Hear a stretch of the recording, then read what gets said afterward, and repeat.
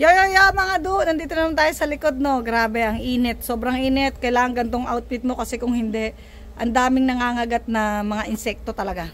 Pero hindi yan ang topic ko, mga do. Ang topic ko, ito. Ito yung ating ano dito, uh, puno ng uh, banana. Tinanggal ko na yung isa, ayun na siya na tibas-tibas na natin dito. So, ito yung iba nating saging dito, no? Ayun siya, oh.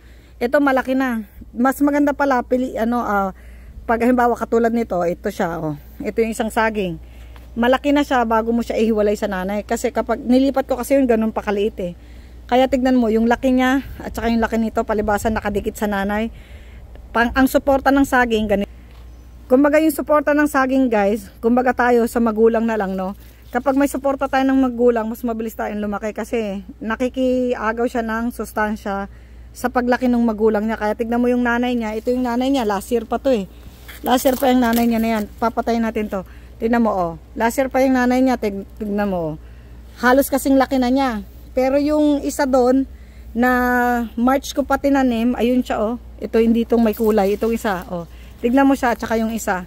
Oh, magkasing laki lang silang dalawa. Ito yung isa, ito yung isa, magkasing laki lang oh, ba? Ito kasi may suporta sa nanay, ayun wala. Kumbaga sa atin no. Pero he will grow stronger as days goes by.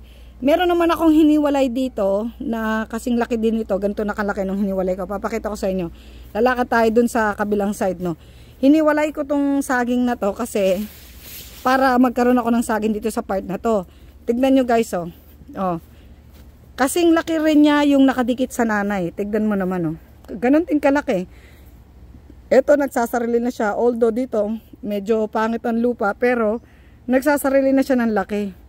Pero mas malaki pa siya dun sa, mas malaki pa yung isa yung nakadikit sa nanay kasi nga, naka, ano siya, nakadikit siya sa ugat ng nanay. So, ang nangyayari, yung nanay hindi na mumulaklak kasi, katulad nito, ito medyo ano pa to, uh, pabulaklak na rin to. Balik tayo dito guys.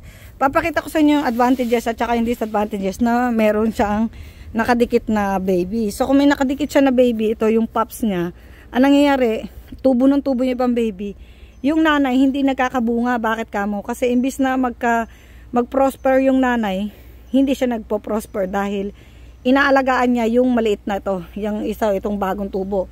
Pero tignan nyo naman dito yung isa ko dito na tinataga ko ito yung mga batang ano uh, saging. Tinataga ko yan siya guys bago bago siya dito tignan nyo. Ito siya oh. Tignan mo nagkabunga siya.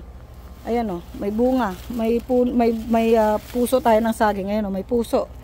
May puso na, may bunga na. Ayan na yung bunga niya oh, 'di ba? Kasi bakit kamo? Dahil ito wala siyang kalaban. Yung mga kalaban niya, tinatanggal ko. So, na, nagbubunga siya kung tatanggalin nyo yung mga baby dyan para mag-focus siya sa sarili niya, no? Ganon din dito, guys. So, ang gagawin natin dito, tatagain natin to kasi nga, hindi siya makapag-focus ng bunga dahil meron siya laging sinusuportahan na bata. Actually, dalawa na yung bata niya. Ito yung siya isa oh. Ano siya, tinaga ko lang, kakaputol ko lang guys nung isa. So, ang gagawin natin, tatanggalin natin tong isang baby niya kasi nga, ano, uh, kumakain lang to ng bunga, ng ano niya, sustansya niya. Papatayin natin yung baby na yun. Itong isa, maliit pa naman yun, okay lang. So, pag nagkabunga to, bago ka mag-allow ng isa pang baby na magbubunga, yun, putulin natin yan dyan siya. Kasi, para ito, mag, mag ano siya, mag, uh, mag-produce siya ng bunga. Dahil pag hindi nyo pinutol yung mga maliliit na nakapaligid sa kanya, hindi yan magbubunga.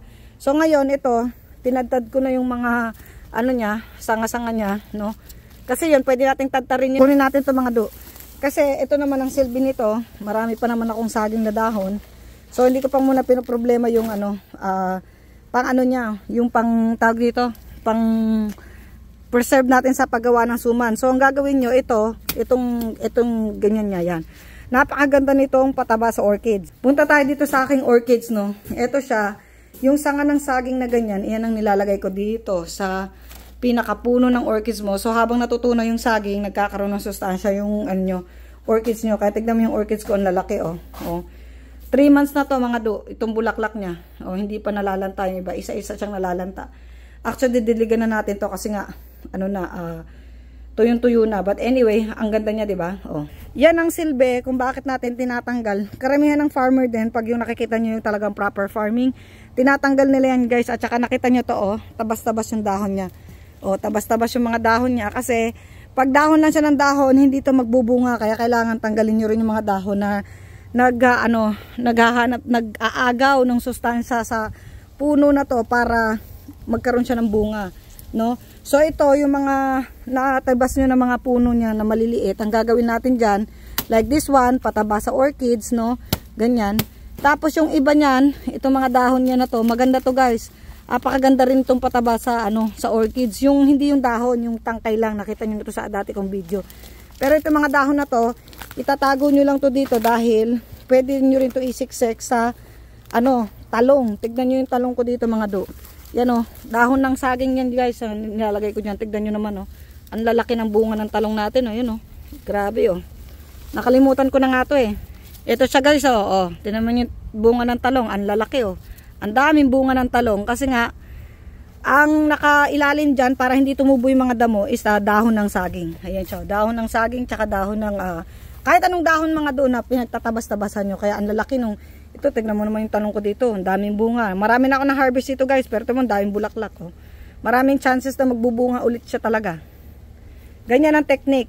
So, wag nyong basta putulin. Yung pinagputulan nyo sa saging, maganda yung pataba sa iba nyong halaman. Yun ang technique dyan. Kahit ito, hinahagis ko lang siya dyan. The same time, yung saging mo, may, ang habol kasi natin dito, puso ng saging.